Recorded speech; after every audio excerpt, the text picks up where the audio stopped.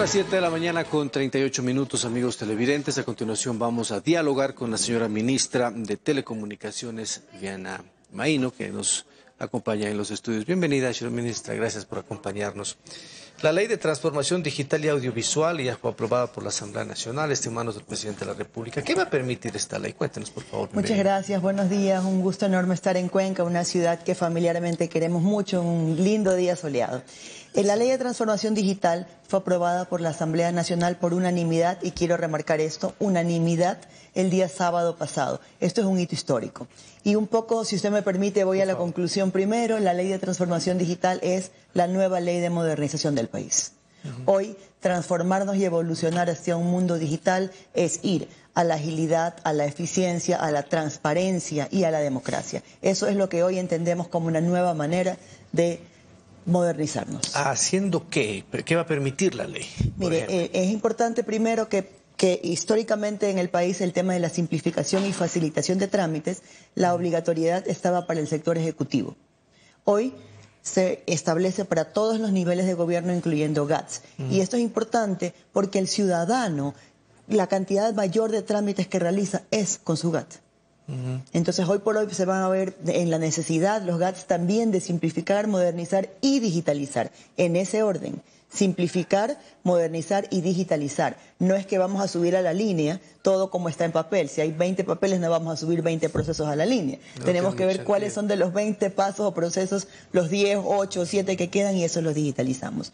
También nos lleva a las cortes.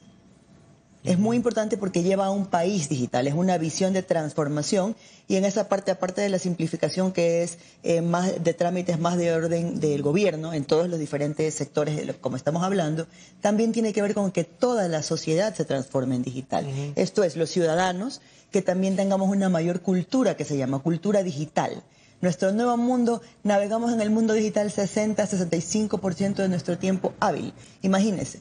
Entonces el desarrollo de habilidades digitales es fundamental. en la parte de educación ya lo hablaremos. Hay un artículo, eh, hay una sección que habla de educación digital, desde la malla curricular en las escuelas, todo el curso de la educación eh, primaria y secundaria. utilizar.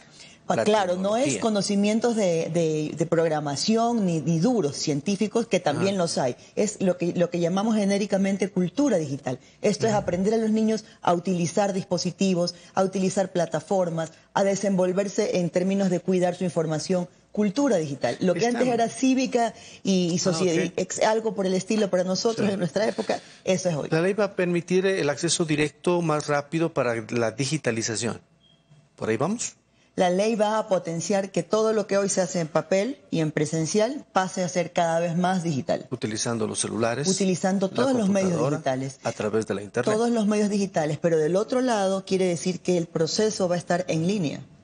Y que usted, por mm. ejemplo, voy a poner un caso puntual, puede hacer un trámite en lo que se llama punto a punto. Por ejemplo, si hoy se quiere sacar un certificado sanitario, probablemente tiene que hacer un trámite en aduana, otro trámite en eh, el SRI, otro trámite eh, probablemente en la ARCSA, que es la Agencia de Control Sanitario. Lo que va a permitir esto es que en una sola plataforma esté todo el trámite de punto a punto. Entonces el ciudadano ya no tendrá que ir a tres o cuatro instituciones, sino hacer su trámite seguido en línea. Eso quiere decir del lado de atrás, digamos, que todas las instituciones involucradas van a tener que subir su trámite y unificarlo. Va a ser obligatorio.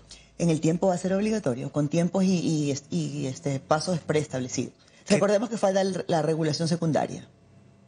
¿Quién debe o quién va a vigilar? ¿Van a vigilar ustedes que se cumpla todos estos procesos? El MINTEL es el ente rector de la transformación digital. Y eso hay... Y del gobierno que se llama electrónico. ¿Y eso se, se va a lograr con qué tiempo?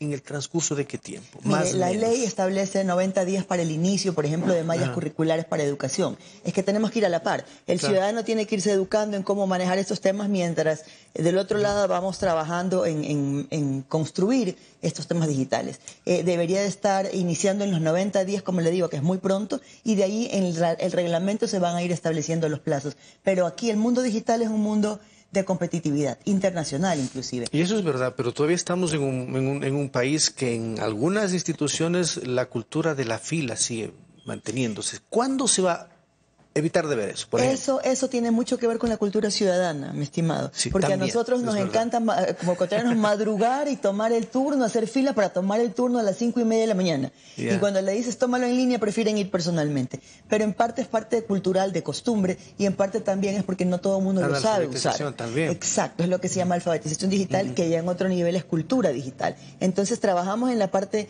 digital, plataformas, en propiamente lo, electrónico y lo telecomunicaciones, pero también tenemos que trabajar en la cultura ciudadana de irse acostumbrando a que esto es más fácil, más rápido, eh, más dinámico, más eficiente para todos. Ahora, eh, la ley se necesita de que se aplique con las acciones, es decir, digitalizar todo. ¿Significa eso? ¿Cuánto tiempo podría estar el Ecuador listo? Mire, le voy a poner muy lejos. casos puntuales. Lo más corto por En, en definitiva, el, tiempo que, toma un país entero pueden ser eh, dos o tres años. Pero le voy a poner casos puntuales. Notarías. Vamos a poder hacer audiencias telemáticas y firmar y transar en línea.